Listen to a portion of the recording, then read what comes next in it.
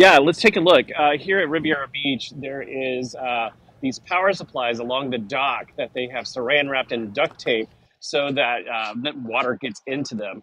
Uh, the ferries that are usually in these docks right here are not here. The security guard just told me that they have moved them. He wasn't sh- quite sure where, but they are not here where they're normally at. Now, we did start in Palm Beach this morning and then went to downtown West Palm Beach, South Florida Fairgrounds. We told, were told that uh, FPL was going to do a staging area there. They had not done that.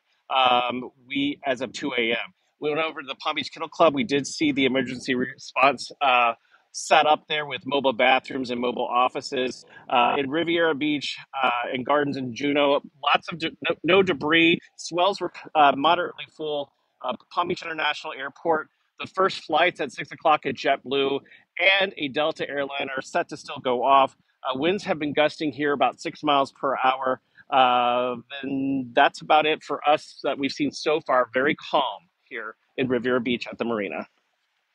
Good news right there. TA, thank you.